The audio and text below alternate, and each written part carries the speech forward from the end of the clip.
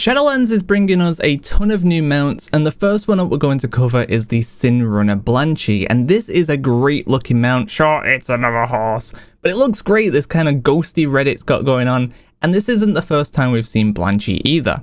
So in terms of getting this mount, if you remember the Springfur Alpaca, it's going to work very, very similar to that, where you're going to have to interact with it six days. Doesn't have to be six days in a row, it could be six, one day here, and one day a week later. As long as you interact with it six different days, you'll get yourself the mount. Or you could do it six days in a row and get it within six days. It's going to have a shortish respawn timer, and these items are going to come from different places. They are going to require you to be at least level 55, but you can get all of them within the first day, so you've got hold of them for the next kind of four or five days or whatever you've got left. So you can get them all day one and then have them prepared basically. So I'm going to run through where these six items come from and then we'll talk about where it spawns and etc. So in terms of the items, the first one up is going to be the handful of oats. You need eight of these and these require level 55 to loot, and these actually come from Westfall, which is where we've seen Blanchy originally. You'll find these around the farms, generally around the edges, maybe behind like the wooden buildings and stuff, and you'll get about one to three handful of oats per bag. And these don't have too long of a respawn, so I don't see these being too big of an issue. If there's a ton of people around, it might be a bit trickier, but eventually you will get your 8 and you'll be able to move on. For day 2, you're going to need a grooming brush, just one of them, and this will come from Snickersnee in Darkhaven. No prerequisites or anything as far as I can tell. Just go talk to the NPC, he'll have extra dialogue, and he'll give you that grooming brush.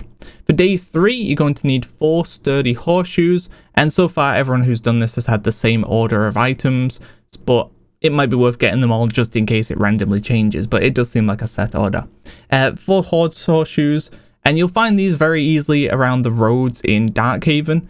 Uh, generally on the right side of Revendreth, they're not quite around Darkhaven, they're a little bit further, but I'll have a map up now showing you the various locations that I've found with them, and they don't have too long of a respawn, so once again getting 4 shouldn't be too difficult. For day 4, you need a bucket of clean water. To get the bucket, you need an empty bucket first of all, and head back to Snickersnee in Darkhaven, and you'll find a little bucket on the ground near him. Click on that, you'll have an empty bucket. Go to Bastion or Ardenweald and go into swimmable water. Use the bucket and you'll get yourself a bucket of clean water.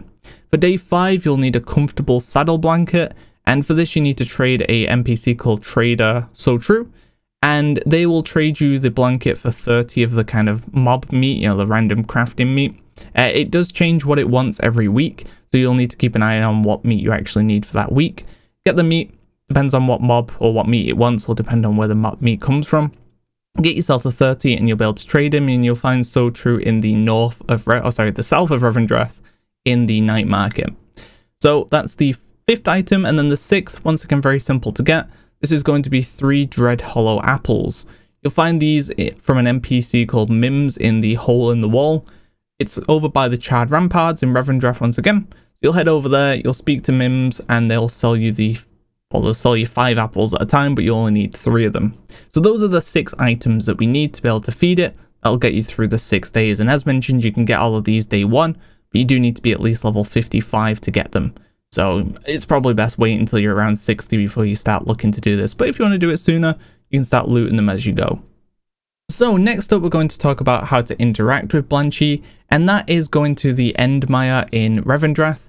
In the northeastish of Revendreth, you'll find the Endmire, and if you go all the way up to the north of the Endmire, you'll find this little bit of kind of river and a tree branch, and old, or sorry, dead Blanchy will come running out of this tree branch. It'll be friendly, and what it'll do is just run at a really fast pace. It'll run faster than a player does on a mount currently. So I would recommend being a little bit in front of this tree branch in the water. And it'll come running out of the tree and interact, or it'll, sorry, it'll collide with you. When it collides, it'll stop because it doesn't want to hit, hurt you. And then you'll be able to interact with it. And it'll stay around for about five minutes. And during that five minute period, anyone can interact with it. Horde, Alliance, doesn't matter. Now you can only interact with it once per day. You can't do all six. So you'll be kind of like locked out once you spoke to it once that day. But you will be able to go to other people's servers, look in LFG, etc., go to their realms and speak to it if they've got it up. So do keep that in mind as well. In terms of respawn time, I've seen around an at 1 to 2 hour respawn. I've not seen anything above 2 hours yet, but it could be on a 1 to 3. I might have just got lucky. There was one period though where it took about 6 hours to respawn, And, you know, that was a bit weird. The servers then went down, came up, and then I had a 1 hour 40 respawn. So just want to mention that weird anomaly as it could be relevant, but it's probably just some kind of weird bug or something. But something to keep in mind at least anyway. In terms of spawn points, this is the only place I've seen it spawn, and I've seen about 11 spawns so far. So, mm, you know, the fact that there's been that many, I doubt there's other spawn locations. Could be that they're bugged and they're not working right now, do keep that in mind. But this is one guaranteed spawn location anyway, and I would imagine it's probably the only one. It's going to spawn, and as I mentioned, it'll run, and it's going to run all the way through the Endmire. If you're not able to kind of stop it, it'll get to the Endmire, like the other end of the Endmire, and then it'll despawn, and you'll have to wait for the, the two hour period for it to come back again. So you want to make sure you're, you're in a place where you can stop it from running, and then you'll be able to get your feed done for the day.